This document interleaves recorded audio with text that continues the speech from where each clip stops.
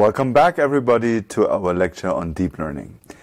Today, we want to go into the topic. We want to introduce some of the important concepts and theories that have been fundamental to the field. Today's topic will be feed-forward networks, and feed-forward networks are essentially the main configuration of neural networks as we use them today. So in the next couple of videos, we want to talk about the first models and some ideas behind them. We also introduce a bit of theory. One important block will be about universal function approximation, where we will essentially show that neural networks are able to approximate any kind of function. This will then be followed by the introduction to the softmax function and some activations. In the end, we want to talk a bit how to optimize such parameters, and in particular, we will talk about the backpropagation algorithm.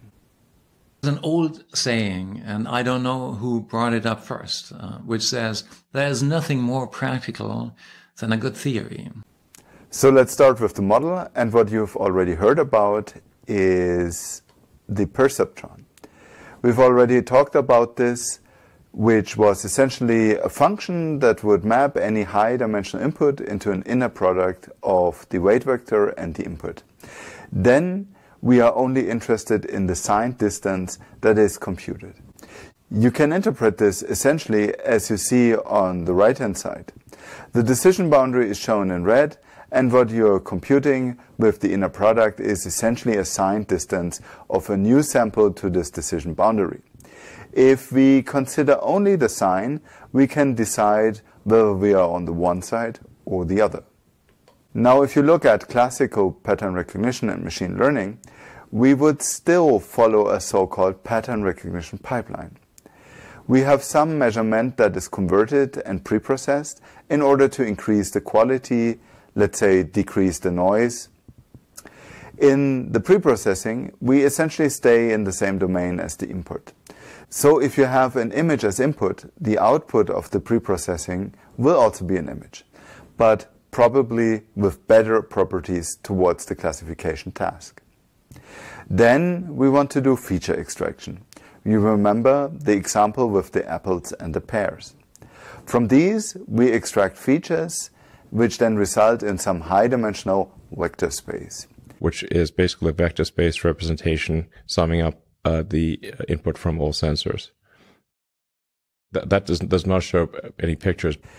We can then go ahead and do the classification. Now, what we've already seen with the perceptron is that we are able to model linear decision boundaries. This immediately then led to the observation that perceptrons cannot solve the logical exclusive OR or the so-called XOR. You can see the visualization of the XOR problem here on the left-hand side. So imagine you had some kind of distribution of classes where on the top left and the bottom right is blue, and the other class is bottom left and top right. This is inspired by the logical XOR function. You will not be able to separate those two point clouds with a single linear decision boundary. So you either need curves or you use multiple lines. With a single perceptron, you will not be able to solve the problem because people have been arguing, look, we can model logical functions with perceptrons. If we build perceptrons on perceptrons, we can essentially build all of logic. Now, if you can't build XOR, then you're probably not able to describe the entire logic, and therefore we will never achieve strong AI. This was a period of time when all funding to artificial intelligence was tremendously cut down and people would not get any new grants. They would not get money to support the research, hence this period became known as the AI winter. And winter is coming. Things changed with the introduction of the multi-layer perceptron. This is now the expansion of the perceptron. You do not just do a single neuron, but you use multiple of those neurons and you arrange them in layers. So here you can see a very simple draft. So this is very similar to the perceptron. you have essentially some inputs and some weights. Now you can see that it's not just a single sum, but we have several of those sums that go through a nonlinearity. Then they assign weights again and summarize again to go into another nonlinearity. This is very interesting because we can use multiple neurons. We can now also model nonlinear decision boundaries and you can go on and arrange this in layers. So what you typically do is you have then some input layer. This is, for example, our vector x. And then you have several perceptrons that you arrange in hidden layers. They're called hidden because they do not immediately observe the input. They assign weights, then compute something, and only at the very end, at the output, you have a layer again where you can observe what's actually happening. All of these weights that are in between in those hidden layers, they are not directly observable. Here, you can only observe them when you put in some input and then compute the activations, and at the very end, you can obtain the output. So this is where you can actually observe what's happening in your system. Now we'll look into the so-called universal function approximation theorem. This is actually just a network with a single hidden layer. Universal function approximation is a fundamental piece of theory because it tells us that with a single hidden layer we can approximate any continuous function. So let's look at this theorem into a bit more of detail. It starts with this formal definition. We have some phi x and phi x is a non-constant bounded monotonically increasing function. There exists some epsilon greater than zero and for any continuous function f of x defined on a compact subset of some high dimensional space, there exists an integer and real constant nu and b and real vectors w where you can find an approximation. So here you can now see how the approximation is computed.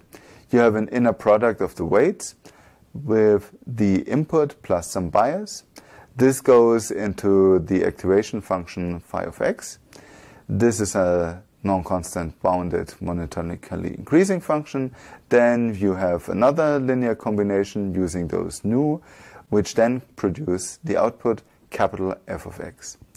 So capital F of x is our approximation, and the approximation is a linear combination of non-linearities that are computed from linear combinations. If you define it this way, you can actually demonstrate that if you subtract capital F of x from the true function f of x, the absolute difference between the two is bounded by a constant epsilon, and epsilon is greater than zero. That's already a very useful approximation. There is an upper bound epsilon, but right now it doesn't tell us how large epsilon actually is.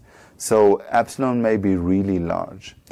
The universal approximation theorem also tells us that if we increase n, the epsilon goes down. Now, if you approach infinity with n, epsilon will approach zero. So the more neurons we take in this hidden layer, the better our approximation will get. So this means we can approximate any function with just one hidden layer.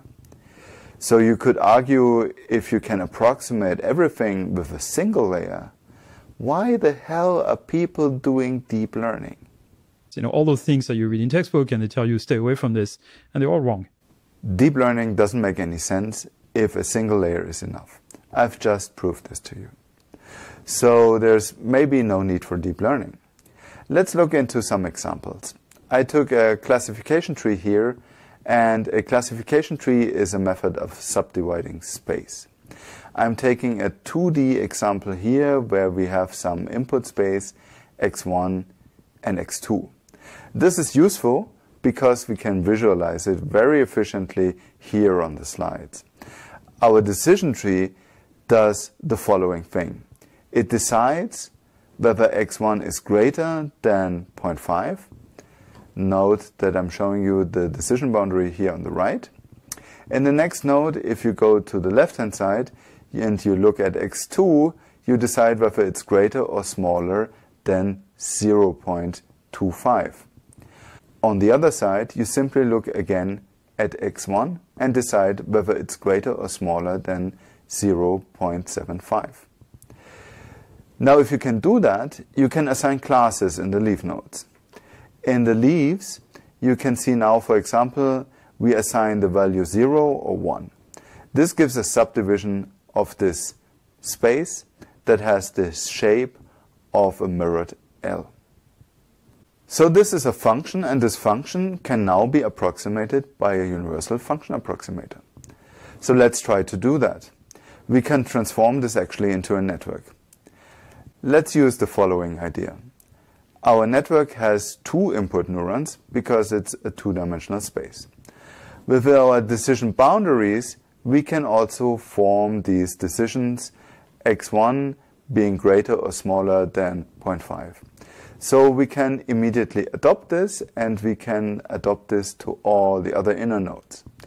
Because we're using a sigmoid in this example, we can also use the inverse of the nodes and put them in as additional neurons. So of course, I don't have to learn anything here because the connections towards the first hidden layer, I can take them from the tree definition. They're already predefined, so there's no learning required here. On the output side, I have to learn some weights, and this can be done, for example, using a least square approximation, and then I can directly compute those weights. If I go ahead and really do that, we can also find a nice visualization. You can see that with our decision boundaries, we are essentially constructing a basis in the hidden layer. And you can see that if I use 1 and 0 as black and white for every hidden node, I'm constructing a base vector. They are then essentially weighted linearly for the output. So you could do this here by multiplying every pixel with every pixel and then summing this up. And this is what the hidden layer here would do. So I'm essentially interested in combining those base vectors such that it will produce the desired y. Now if I do that in a least square sense, I get the approximation here on the right. So that's not half bad. I can magnify this a little bit. This is what we wanted to get, and this is what we just computed. Now you can see that it kind of has the L shape in there, but the values here are in a domain between 0 and 1, and the epsilon with my 6 neuron approximation here is probably in the range of 0.7. So it kind of does the trick, but the approximation is not very good.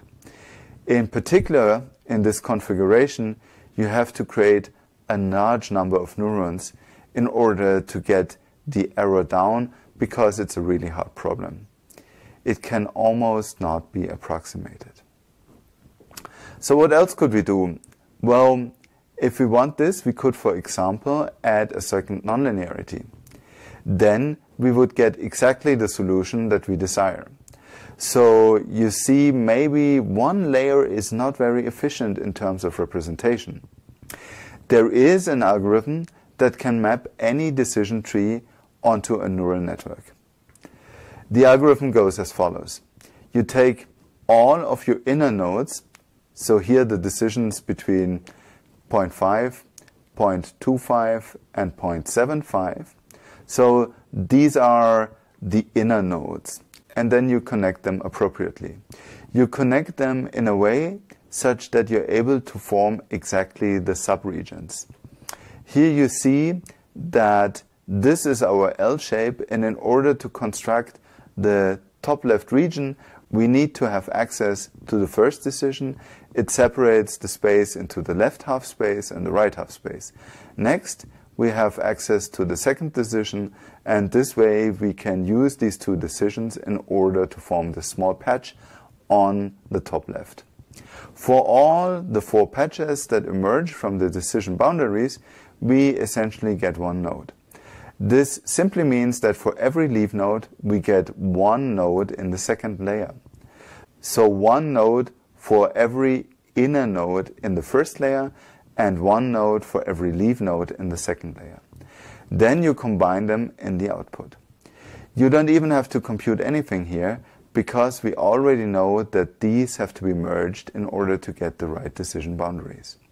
This way we manage to convert your decision tree into a neural network and it does exactly the correct approximation as we want it to happen. Science tells us that the stuff that works best is really simple. What do we learn from this example? Well, we can approximate any function with a universal function approximator with just one hidden layer. But if we go deeper, we may find a decomposition of the problem that is just way more efficient. So here, the decomposition was the first inner nodes, then the leaf nodes. This enabled us to derive an algorithm that has only seven nodes and could exactly approximate the problem. So you could argue by building deeper networks, you add additional steps. In each step, you try to simplify the function and the power of the representation, such that you get better processing towards the decision in the end. I already kind of think of neural nets as a kind of, of program. I think of deep learning as basically learning programs that have more than one step. Now let's go back to our universal function approximation theorem. So we've seen that it exists. It tells us that we can approximate everything with just a single hidden layer. So that's already a pretty cool observation, but it doesn't tell us how to choose n. It doesn't tell us how to train, so there are a lot of problems with the universal approximation theorem. This is essentially the reason why we go to what is called deep learning. Then we can build systems that start disentangling representations over various steps. If we do so, we can build more efficient and more powerful systems and train them end to end. So this is the main reason why we go towards deep learning.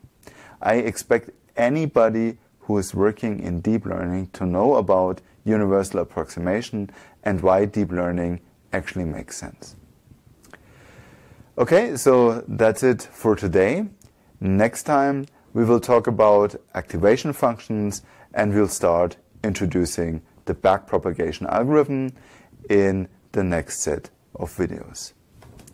So I hope you enjoyed this video lecture and I'm looking forward to see you in the next couple of videos. Bye bye.